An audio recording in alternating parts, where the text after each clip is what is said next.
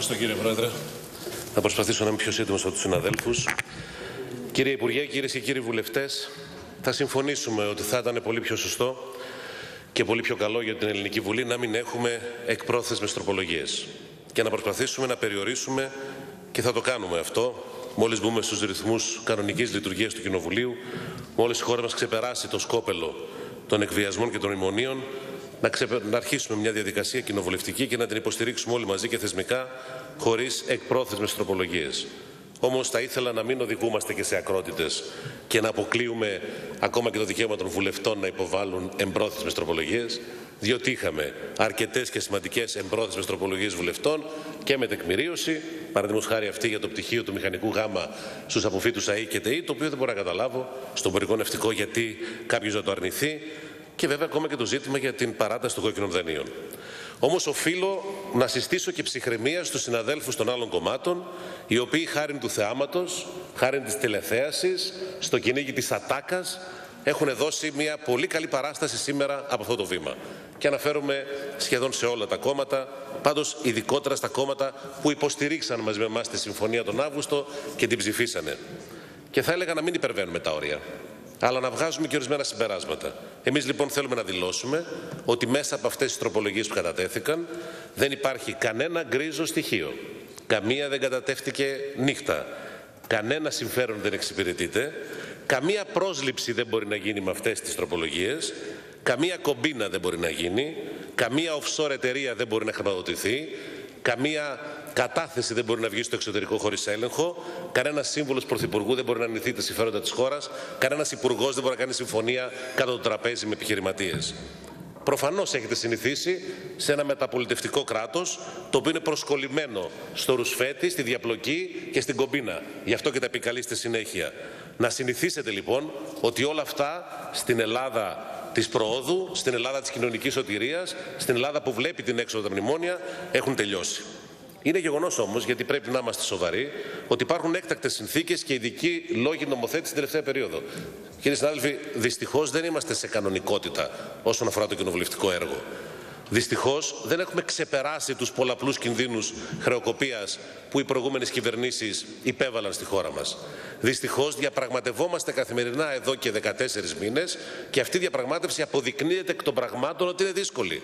Και εμείς το έχουμε πει. Αν δεν το είχατε καταλάβει όταν το λέγαμε, μάλλον πρέπει να προσέχετε καλύτερα τα λόγια μας γιατί ήμασταν υποχρεωμένοι σήμερα να εισάγουμε την παράταση της προστασίας των κόκκινων δανείων, γιατί και εσείς συμφωνείτε ότι πρέπει να προστατευτεί και η πρώτη κατοικία και η μικρομεσαία επιχειρηματικότητα, αλλά και γιατί ελπίζουμε ότι δεν θέλετε κάτι άλλο. Και ρωτώ ρητά και ξεκάθαρα, και προς όλους τους κοινοβουλευτικούς εκπροσώπους θα πάρουν το λόγο. Ήθελε κάποιος από εσάς να συμφωνήσουμε με το Διεθνές Νομισματικό Ταμείο και να αφήσουμε στο έρμεο των πρακτικών εταιριών τα στεγαστικά δάνεια και τα δάνεια των μικρομεσαίων επιχειρήσεων. Θέλετε να κάνουμε κάτι διαφορετικό ή θα ψηφίσετε και εσείς την τροπολογία; Θέλετε να υποκληθούμε στις απαιτήσεις των δανειστών ή θέλετε να διαπραγματευτούμε στεναρά και να παρατείνουμε αν χρειαστεί και το χρόνο της διαπραγμάτευσης μέχρι και το Ευρωπαϊκό Όργανο που πρέπει να συζητήσει και σε, με πολιτικούς όρους τη συμφωνία αυτή.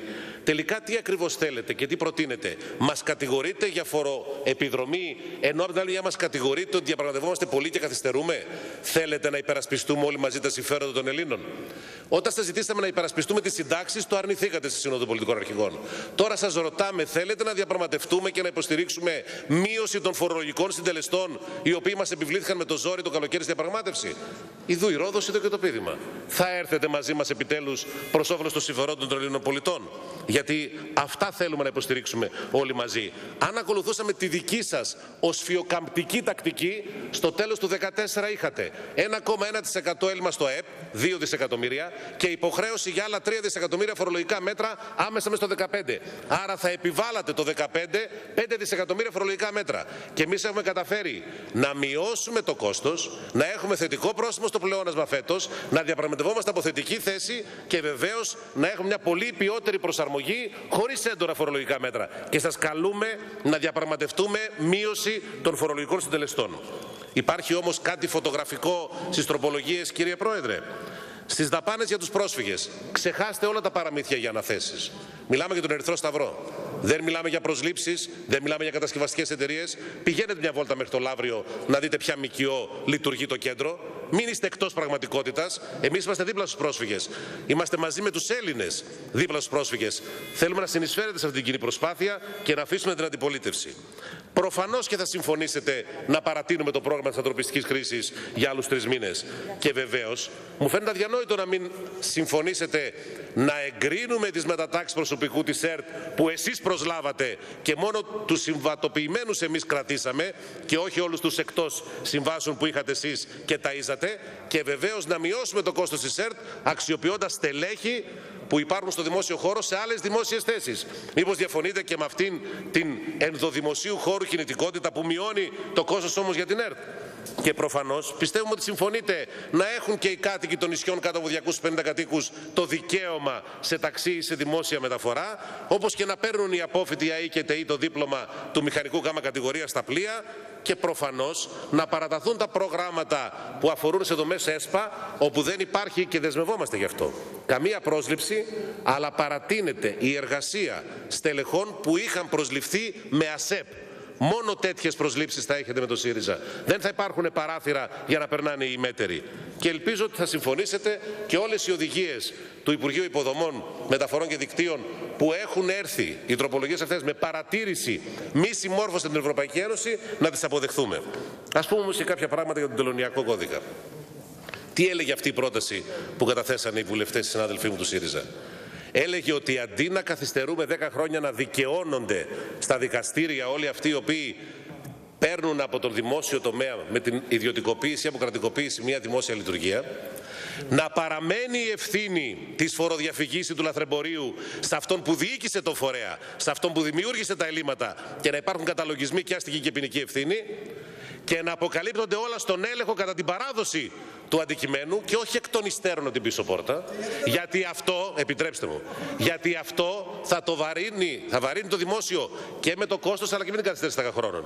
Εμείς οι συνάδελφοι προτείναν την απόσυρση για να επεξεργαστούμε καλύτερα νομοτεχνικά τα συμφέροντα του κράτους και την επιστροφή χωρίς όμως να υπάρχει στη δική τους βούληση, γιατί μιλάμε για το, τα μέλη της κοινοβουλευτικής ομάδας του ΣΥΡΙΖΑ και όχι για τον Υπουργό, χωρίς να υπάρχει στη βούλησή τους κανένα σκοτεινό σημείο, κανένα ελάττωμα. Διότι αυτό που πρέπει να συνηθίσετε και το παραλαμβάνουμε είναι να υπηρετούμε τα συμφέροντα της πολιτείας και τα συμφέροντα των Ελλήνων.